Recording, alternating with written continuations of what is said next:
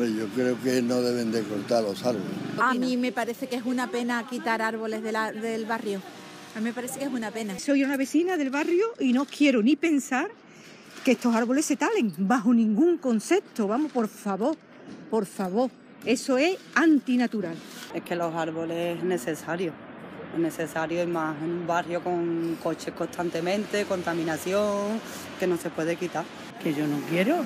Además, eso da vida, da frescor al barrio, porque en el verano con la calor que hace, lo que, no, lo que no deben de hacer un árbol que está bueno y sano es cortarlo. No, no son peligrosos, son sanos. y no hay necesidad de cortarlo. A nosotros nos parece que estos árboles forman parte de la imagen de esta calle. Eh, los árboles también, cuando llega verano se ponen preciosos hay muchos pájaros. No estoy conforme con que quiten estos árboles, porque la verdad que para nosotros nos da mucha alegría. Si los árboles dieran wifi, seguro que no lo quitarían. Lo que pasa es que solo dan oxígeno. Lo que tienen que hacer, pero no aquí en todos los sitios, es cuidar los árboles, que no los cuidan. Es nuestro contacto con la naturaleza, es la raíz, es nuestra raíz, eso no puede desaparecer.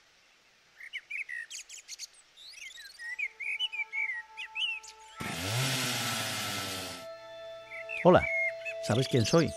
Seguramente no. Suelo pasar desapercibido la mayoría de las veces para vuestros ojos. El caso es que llevo tantos años en el barrio que os conozco a todas y a todos. Habéis jugado conmigo o a mis pies. Os he visto crecer, os he visto vivir. Siempre he sido el testigo mudo que os daba cobijo sin que siquiera a veces os dierais cuenta. Siempre hemos estado ahí. Aunque no lo sepáis, para vosotros somos esenciales. Bueno, los árboles que eh, sin los árboles no estaríamos aquí. O sea, los árboles eh, son la base de nuestra vida, son el elemento de la naturaleza más cercano dentro de una ciudad que tenemos los individuos. Una ciudad que necesita sombra, la tenemos que llenar de árboles porque son nuestros mejores defensores. Ellos nos dan eh, sombra, nos dan, eh, son sumideros de, CO2 eh, que evitan el calentamiento, el calentamiento del planeta, nos ayudan a combatir las islas de calor dentro de la ciudad. Eh, nos defienden de la contaminación del aire con, sus, eh, con, sus propias, con sus propios trabajos y sin embargo los árboles no son considerados.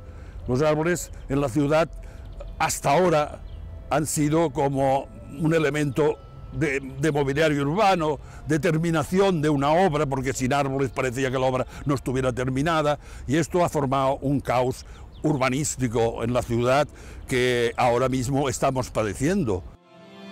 Pero yo no soy parte del mobiliario urbano. Los árboles somos seres vivos, aunque algunos lo hayáis olvidado. Y tal vez porque habéis perdido esa sensibilidad es por lo que nos habéis sentenciado a muerte. Estáis convirtiendo una ciudad verde en una ciudad gris, del color del hormigón y del asfalto, como si eso no tuviese consecuencias. Si no tuviéramos árboles en la ciudad, tendríamos un aumento de la temperatura aproximadamente de entre 5 y 10 grados más de, media de lo que tenemos en este momento. Si en este momento ya estamos muy por encima de lo que puede soportar eh, el ser humano dentro de, una ciudad, pues imaginaos cómo sería la ciudad sin árboles. Es un proceso parecido a cuando nosotros sudamos. Nosotros sudamos para refrescarnos, bueno, pues digamos que la tierra eh, se refresca o nos refresca a través de los árboles. Por eso los árboles no solo están fresquitos porque den sombra, sino porque generan una humedad que hace que el ambiente esté más fresco. Y de pronto habéis entrado en pánico, os hemos empezado a dar miedo. En Sevilla el ayuntamiento nos condenó a muerte en el año 2015. La sentencia mortal era un informe sobre el supuesto mal estado en el que estábamos la arboleda sevillana somos un riesgo, somos peligrosos, porque ahora os creéis que en cualquier momento podemos aplastaros. Pues no, eso es mentira. Em, no entendíamos como si un árbol suponía un peligro para la ciudadanía y eso se había determinado en el 2015, no entendemos por qué del 2015 al 2018 no se hace nada, o sea, ni el, o sea, cómo la ciudadanía puede estar en ese peligro inminente durante tres años y es más que durante esos tres años no se hubiera hecho nada para reducir el peligro o incluso para, para sanar algunas de las afecciones que, que, ya en 2015 parece que esos árboles tenían. La eliminación de árboles adultos tiene que ser el último recurso y teóricamente así está en el PECO. El problema es que hay una salvaguarda, como siempre todas las leyes, que dicen por causa de urgencia. Ha sido una acción política, no una acción técnica, no una acción profesional. La urgencia ha sido la decisión de alguien que desde abajo ha dicho, uy, este se va a caer. O, ay, esta especie no me gusta, ¿eh? es que es una especie que no va bien en Sevilla. ¿no? Si eso lo dice alguien que es un experto, pues vale. ¿no? Si eso lo dice alguien que se dedica al hormigón, pues esa respuesta no me vale. Si hubiera sido una acción profesional, esto se hubiera planificado, como debe de estar planificado. Todo, no los árboles, los jardines, las superficies verdes, el paisaje de la ciudad. En el mes de julio del año pasado, en 2018, tuvimos la noticia de que estaban talando los olmos de la Plaza del Pumarejo. En pleno julio, esos olmos que hacen que la plaza sea habitable porque la sombrean y entonces pues nos reunimos mucha gente de Sevilla y sobre todo gente del vecindario que no daba crédito a ver lo que estaba pasando. Estaban talando unos olmos enormes, de gran porte, de unos 80 años de, vida y, y nada, los estaban rebanando pues con toda la indignación hicimos carteles y nos vinimos el día siguiente a las 7 de la mañana para evitar que cayesen los dos que quedaban. Los dos que quedaban los podaron, los terciaron y han brotado este año, pero lo cierto es que la, la plaza se quedó sin sombra.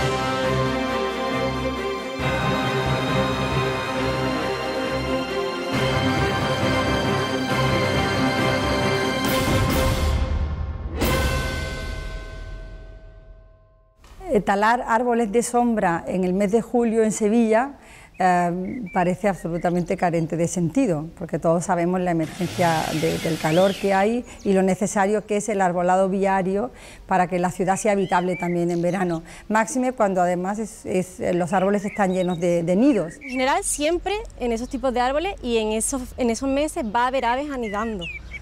Pero en concreto, si no haces un estudio, puedes estar cargándote aves concretas que usan esos árboles como refugio además. Eh, entonces, eh, eso les repercute no solo en la reproducción, sino también en, en, el refugio, en el hogar que ellos usan, que hacen el uso que hacen de esos árboles en Sevilla.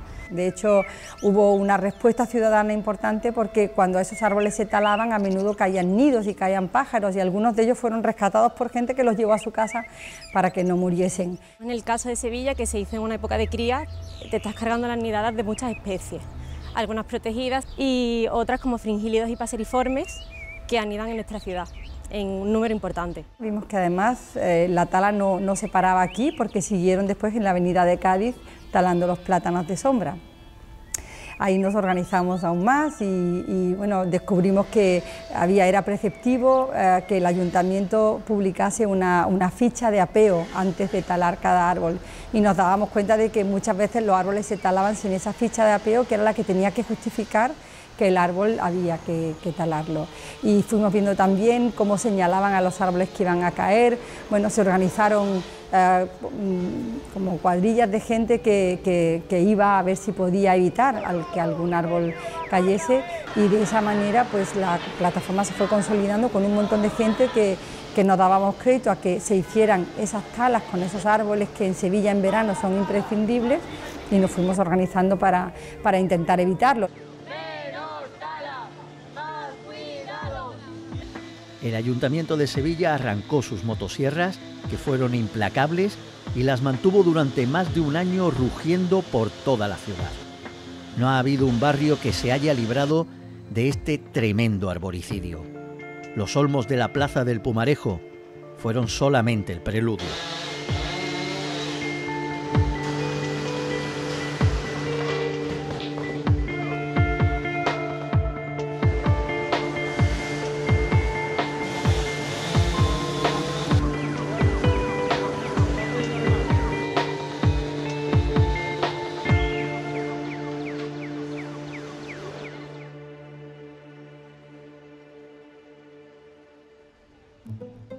Eh, nuestra primera respuesta, aparte de, intentar ver y defender y, evitar que esos árboles se talasen, sobre todo algunos que estaban visiblemente sanos, fue pedir al ayuntamiento que reconsiderase esas talas y que se reevaluase, porque mm, pensábamos que muchos de esos árboles estaban, estaban sanos y se podía, se podía evitar su, tala.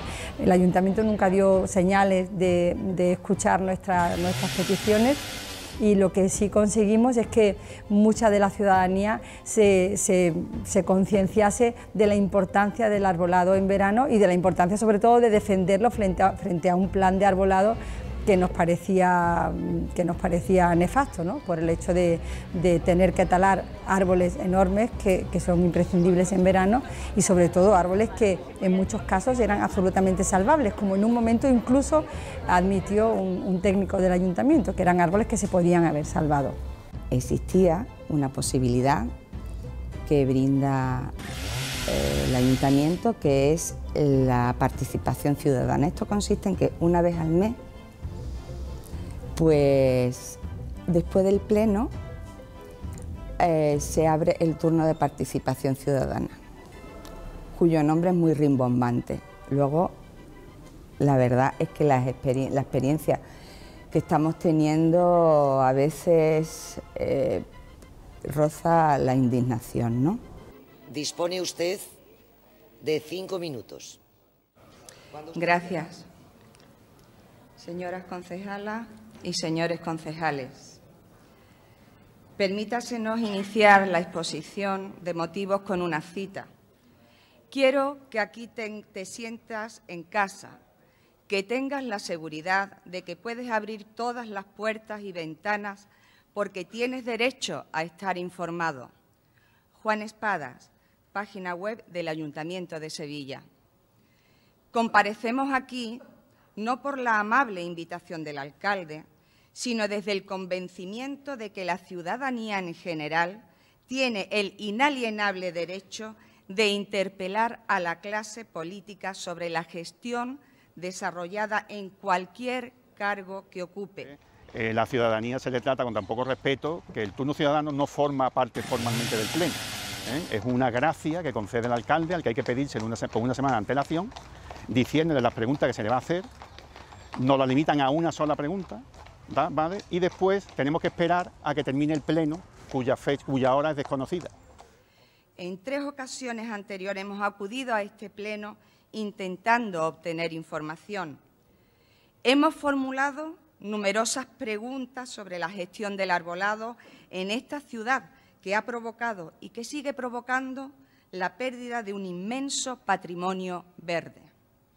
En las tres sesiones hemos sentido vulnerado nuestro derecho a estar informados. Cuando se nos ha respondido, las respuestas han sido tan inverosímiles, tan desmentidas por la realidad cotidiana, que no sabemos si achacarlas al desconocimiento de la misma o al simple deseo de ocultarla. Mm, esa, esa oportunidad pues la estamos aprovechando para presentar exposiciones de motivos sobre todos los temas relacionados con el arbolado y que vemos que tenemos problemas para llegar a la información o queremos plantear dudas o queremos exponer que lo que se está haciendo no nos gusta, ¿no? hoy no venimos a preguntarle por el número de Alcor, que es vacío de esta ciudad, ni por qué han sido cementados miles de ellos, ni por qué se han talado tantos árboles sin las debidas garantías, ni por qué en las obras que se realizan se los maltrata sistemáticamente, ni por qué no es posible conocer dónde van a plantarse los árboles, ni por qué no se escogen ejemplares de primera calidad, ni por qué se realizan a diario podas que semejan mutilaciones. ¿Para qué? Si ni siquiera ha sido capaz de proporcionar algo tan simple como el inventario de árboles de la ciudad. Y déjennos decir, para acabar esta exposición de motivos, que no nos hemos sentido en nuestra casa, aunque, sea, aunque nuestra sea. En nuestra casa no nos harían esperar horas para poder usar la palabra, ni nos harían permanecer de pie mientras quienes nos escuchan permanecen sentados plácidamente, ni se nos haría saber que se estudiaría la manera de que no volviéramos a acudir. ¿Qué modales son esos? Por todo ello, le rogamos desde nuestra humilde pero suficiente condición de ciudadanos que por razones de transparencia democrática respete su palabra y, consecuentemente, facilite la información que tantas veces le hemos pedido. Eh, más que plantar árboles, incluso ahora mismo, lo importante es cuidar los que tenemos, ¿no? Y es lo que pretendemos al menos, al menos cuidar los que tenemos. Por supuesto que planten más, pero al menos cuidar. Y otra forma es esta, es decir, estamos aquí, sabemos lo que está pasando y sabemos cómo podría ser de otra forma, incluso nos hemos ofrecido, ¿no? Años sin riego, sin cuidado, sufriendo mutilaciones que debilitaban la arboleda cada vez más y que nos dejaban tan débiles que casi eran la sentencia a muerte para el año siguiente. De eso no habla el informe del ayuntamiento, solo se daba la solución final, el exterminio de más de 2.500 árboles. Aunque la tala se ha cobrado ya más de 4.000 a lo largo de toda la ciudad por una u otras excusas. Una poda en un árbol adulto es quitar las ramas que pueden ser peligrosas, las ramas que se entrecruzan, las ramas que no van a recibir luz y por lo tanto van a terminar cayendo de manera natural, porque al no recibir luz pierden la hoja y por lo tanto se van a secar. Entonces, esa poda de mantenimiento no afecta a la copa del árbol ni, al volumen de, de la copa, ¿no? O sea, no afectan absolutamente. Son podas que tú prácticamente sales de la poda una vez que haces una poda de mantenimiento y tú no tendrías que pensar que ese árbol ha sido podado si no has visto a los operarios. Aquí se poda como si fuéramos, estuviéramos en agricultura y fuéramos a recoger frutos. Hemos perdido eh, árboles de gran porte que, que, son rutinariamente mutilados con unas talas que lejos de ser talas excepcionales, aquí se aplican como talas de mantenimiento y son talas que diezman el árbol, que diezman su copa y que además eh, los, los condenan a una muerte segura de tan violentas y tan mutilantes como son.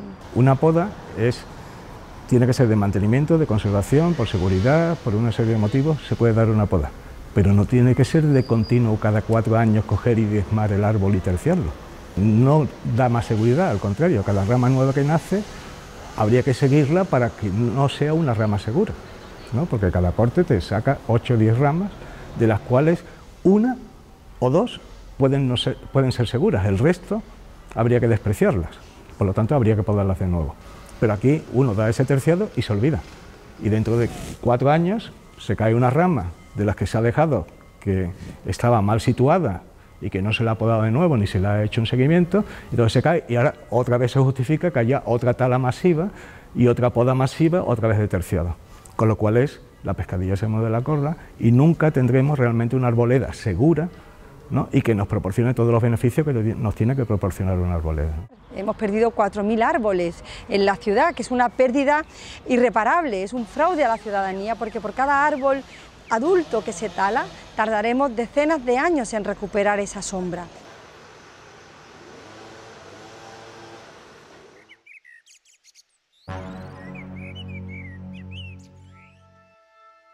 Aquí lo que pasó es que una mañana eh, yo me levanté temprano, me levanté, salí del barrio un poquito antes de las 7 porque tenía trabajo y llegué pronto, a media mañana, sobre las 11, 11 y media, yo ya estaba por el barrio otra vez.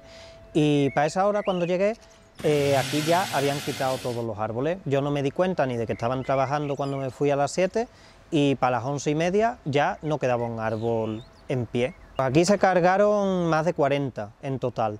Primero quitaron 7, que eran los que habían planificado quitar porque supuestamente no podían salvarse porque estaban muy enfermos. Lo único que tenían es alguna ramita rota, vamos, a mí me parece que para quitarse no estaban desde luego, pero bueno. Eh, después quitaron de golpe 37 más, por un accidente supuestamente, por un accidente que durante las obras de la calle, que duraron muchos meses, pues dañaron todas las raíces. Tú puedes entrar con una excavadora y cargarte las raíces de un árbol, de dos árboles, pero lo que no parece de recibo es que tú tires para adelante con la excavadora y te cargues 40 árboles. En la calle de al lado, que es donde yo vivo, que es el Gomari, hay varios alcorques vacíos que tienen un diámetro todavía más grande que este. Eh, yo llevo unos seis meses viviendo aquí de manera estable, pero los vecinos que llevan más tiempo, algunos me han dicho que los árboles esos llevan cortados 15 años. O sea que si eso no lo han repuesto, no me imagino yo que vayan a reponer esto. Desde luego con los árboles estaba muy bien porque quieras que no refresca bastante el asfalto, no da el sol como ahora todo el día. Eh, bueno, en Sevilla ya sabemos, cuando una calle está sin árboles, tú pasas y casi que te quemas aunque lleves zapatos puestos. Entonces, no sé si aquí nos van a hacer como en el centro, que ponen toldos de edificios. Aquí no pueden y tampoco les interesará ponernos aquí toldo. Se vivirá mal. Eh, generamos un espacio que si todo estuviera en sombra en verano, necesitaríamos aproximadamente la mitad del uso que hacemos del aire acondicionado. El aire acondicionado cada vez nos vuelve a echar más aire caliente, con lo cual la temperatura ambiental, si pongamos que tengamos 45 grados en una calle que esté medio sombreada por, las, por la sombra de las fachadas, si le estamos echando aire acondicionado, estamos teniendo en torno a 10, 15 grados más en esa misma calle si los aire acondicionados van hacia allá. Con lo cual, si no tenemos nada que lo contraponga, estaríamos en un entorno donde la gente no podría salir hasta que no fuera el anochecer, ¿no? como pasa en Marrakech o como pasa en lugares desérticos.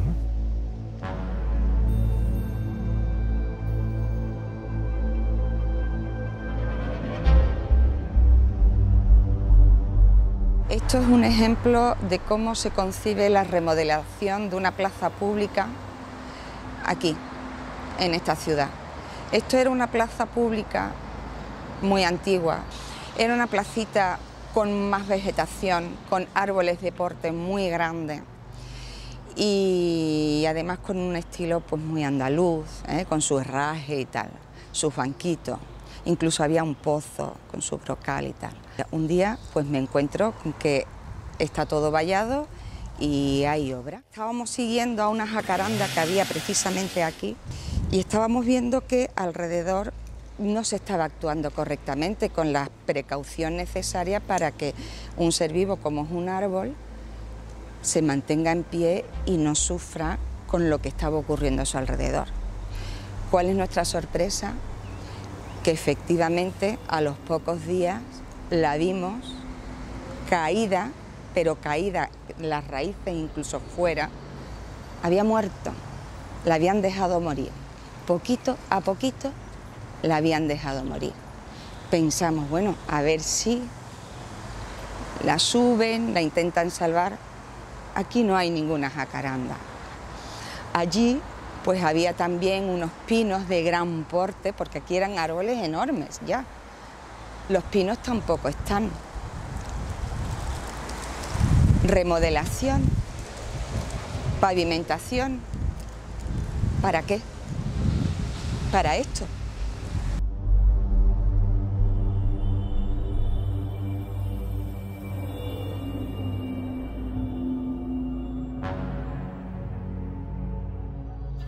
Estamos en la Avenida del Greco, en el Polígono San Pablo de Sevilla, y estamos ante la última realización de, este ayuntamiento en su obra medioambiental más famosa y a la que más dinero han invertido. Han querido convertir esta avenida en un eh, ejemplo de sostenibilidad realizando una transformación completa para convertirla en un sistema eh, urbano de desarrollo sostenible.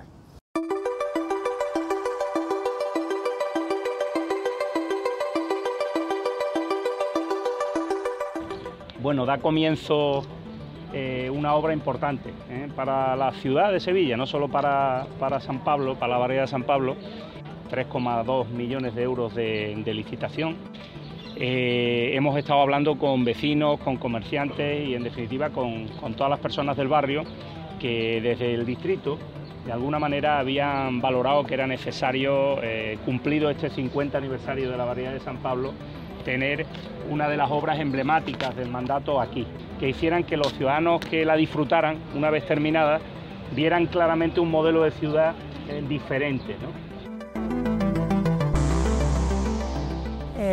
La vegetación, los árboles nos dan permeabilidad urbana. Es decir, nos permiten que las ciudades, parte del suelo, sea permeable y con ello pues el agua pueda volver al subsuelo, también a su ciclo natural, ¿verdad? A, las capas freáticas de debajo de la tierra y además la vegetación, las raíces proporcionan permeabilidad, mejoran esa permeabilidad, ayudan a que se percole, fijan el suelo para que el suelo no, se lo vaya llevando la escorrentía superficial y eso nos permite, o sea, si tuviéramos las ciudades más permeables, con más vegetación, con más zonas jardinadas, con lo que se llaman los sistemas de drenaje sostenible que tienden a naturalizar la ciudad. Un sistema de drenaje sostenible en que se basa en que todo el espacio urbano, fundamentalmente el espacio verde, es permeable y que ahí el agua que cae, sobre todo en las grandes avalanchas, lo que hace es introducirse en el terreno y llegar al freático y que las aguas de tus techos vayan a ese jardín. Entonces, quiere decir que es un modelo positivo. El problema es que no se pueden hacer malas copias. O sea, eh, hay que hacerlo, se hace bien o no vale para nada.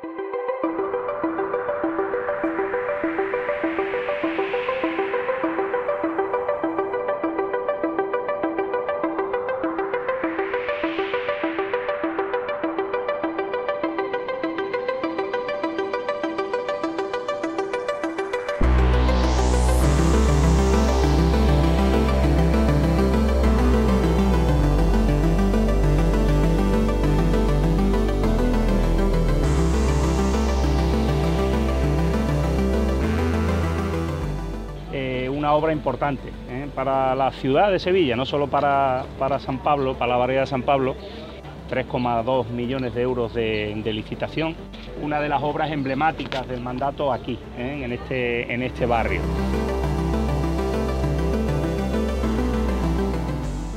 Aquí las ingenierías típicas, clásicas, los ingenieros de camino, lo que quieren es construir, construir, construir, hormigón, hormigón, hormigón. Esto ha venido sobrevenido y este, estamos en un proceso de transición donde todavía están intentando utilizar los modelos antiguos para sistemas nuevos. Esto es un modelo antiguo de arqueta, es decir, las arquetas no son así.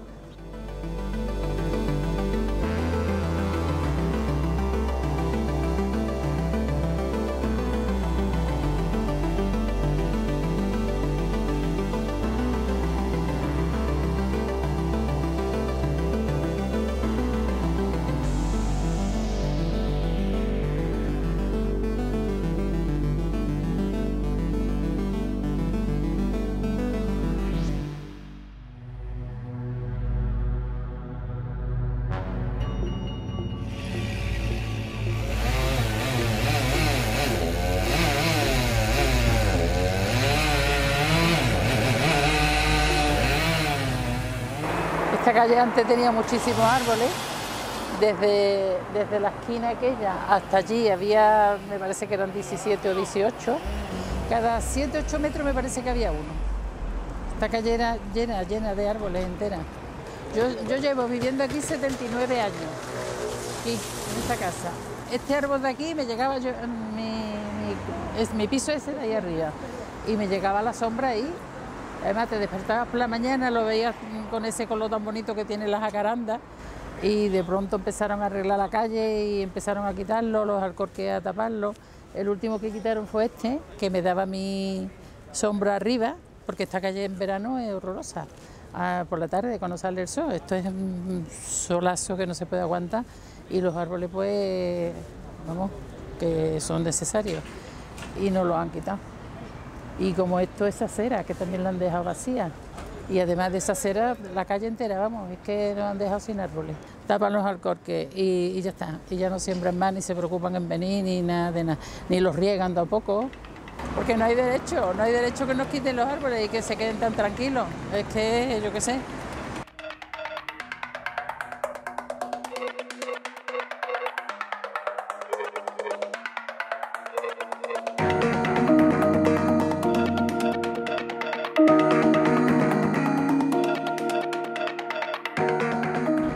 El Parque María Luisa, que todos sevillanos y muchos extranjeros conocen ampliamente. Eh, para el que no lo sepa, estamos en un parque catalogado como bien de interés cultural y por lo tanto que debe ser protegido como la Giralda o cualquier otro monumento de los que tenemos en nuestra ciudad y donde la plataforma se movilizó especialmente a raíz de la aparición de un expediente de tala y poda de lo que el ayuntamiento llama árbol de especial riesgo y que amenazaba con destruir aún más el parque talando hasta 145 árboles de gran porte.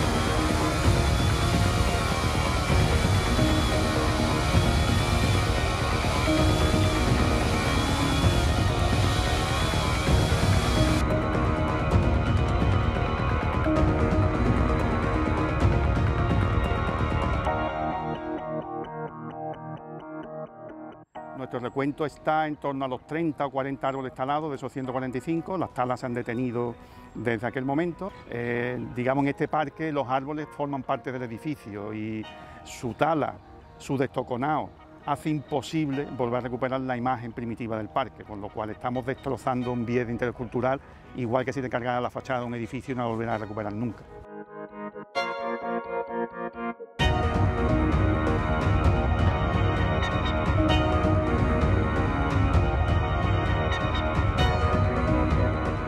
Estamos en el Jardín de las Delicias, que es un, jardín contemporáneo al Parque María Luisa, un poco olvidado, como el, el, hermano pobre del parque. Y aquí también llegó la tala y perdimos bueno, un ejemplar de almez de más de 100 años de antigüedad y otro de los eucaliptos rojos, también antiquísimo, anterior a Forestier. Son dos árboles que tienen una cantidad enorme de, metros cúbicos de una madera muy valiosa, tanto la madera del Celtis australis como la madera del eucalipto rojo son maderas muy apreciadas y no sabemos qué fin han tenido. En, un pleno al señor Guevara, que por cierto nos tiene bloqueado a todos los miembros de la plataforma, tanto a nivel de plataforma como particulares, en, Twitter concretamente, y bueno, nos dijo nos dijo, no sé si por desconocimiento, porque creo que desconoce muchas cosas, ¿vale? Que, bueno, que según costaba en pliego, pues iba a vertedero. Eh, no tenemos conocimiento del valor de la madera, ya que el pliego de prescripciones técnicas que rige el contrato del arbolado se define la retirada de los residuos a vertedero y el ayuntamiento, en este caso, no ha vendido ninguna madera. El destino final es el vertedero, como he dicho antes. Nosotros sabemos que no va a vertedero, porque el pliego tiene una parte que se llama mejoras al pliego, y en esas mejoras al pliego las contratas ofertaron esos residuos iban a dos empresas que además tenían que dar su nombre y su calificación, que son Ecopoda y Tecmasa. Esos residuos iban a esas empresas con la intención, con la condición de que la revalorización de ese residuo la disfrutaba Parque y Jardín, es decir, la ciudad. El señor Guevara sigue diciendo que vertedero.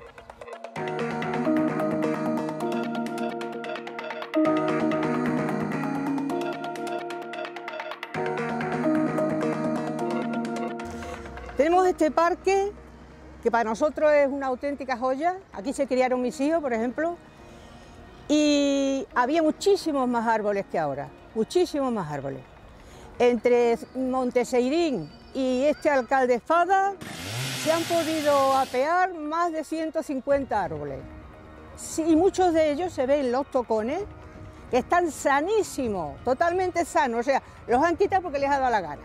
Nos hemos quedado sin árboles en esta zona, aunque han sembrado unos palitos con, con hojas que andan por aquí, por ejemplo este, este, ese. Un árbol nuevo sabemos que necesita años y años para volver a eh, dar los beneficios que daba el árbol que hemos cortado.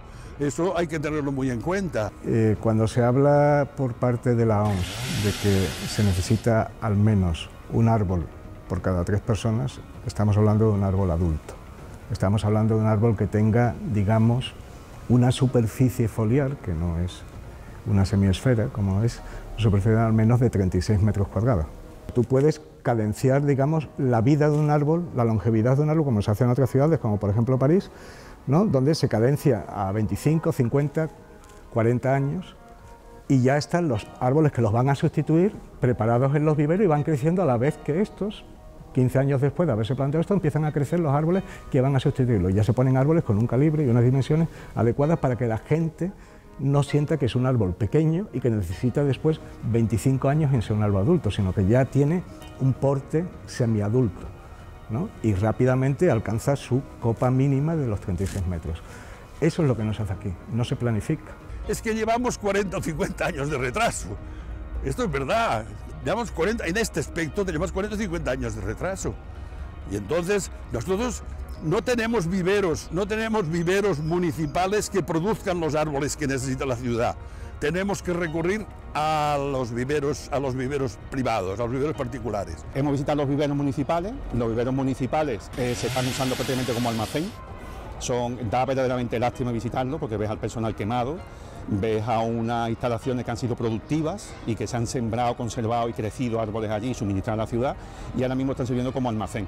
De hecho, en el de Miraflores que estuvimos el otro día, eh, pudimos comprobar la zona donde los árboles que iban destinados al macro contrato se habían almacenado allí, se habían puesto allí y le habían dicho a los operarios municipales que los regaran.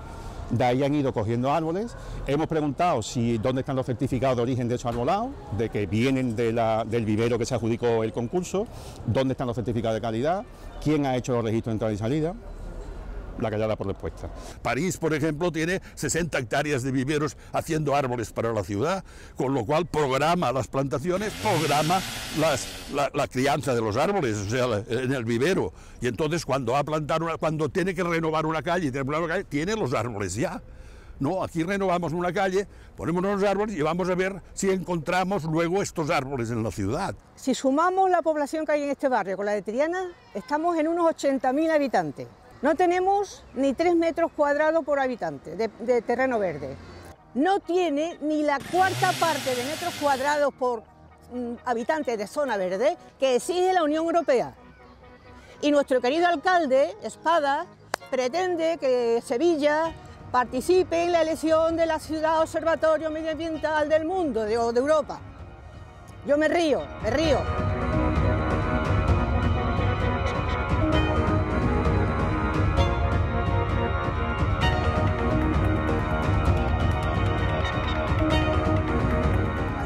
Que estaba trabajado por los empleados públicos, por los funcionarios públicos, por la empresa pública, este parque, esto se llamaba la Rosaleda. Era maravilloso, esto era un sitio ideal. No teníamos ese kiosco ahí que ha arrasado un montón de metros cuadrados verdes. Teníamos unos rosales preciosos, cada uno con su nombre. Incluso había rosales en las enredaderas de las pilastras de la pérgola eso desapareció cuando empezó a privatizarse el parque.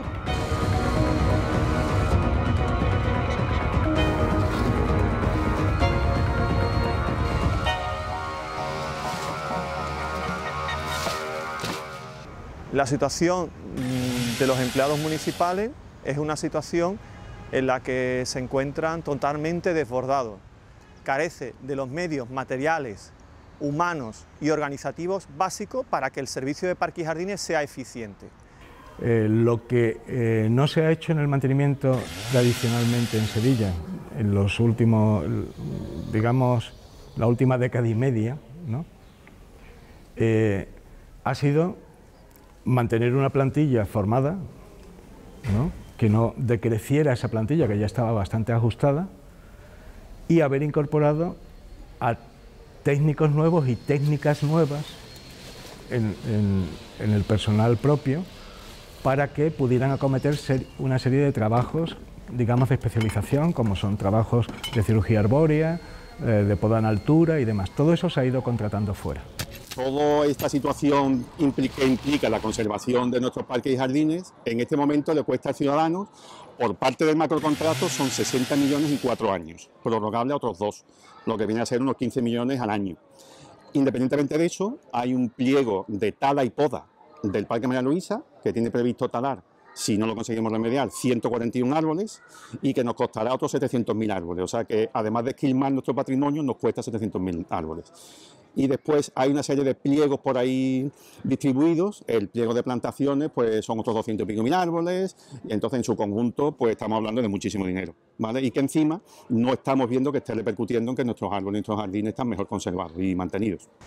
Detrás, detrás, de todo esto lo único que está es el intento por parte del Ayuntamiento de Sevilla de estrangular el servicio de parking y jardines. Actualmente supone que es el segundo servicio en grado de privatización del Ayuntamiento de Sevilla.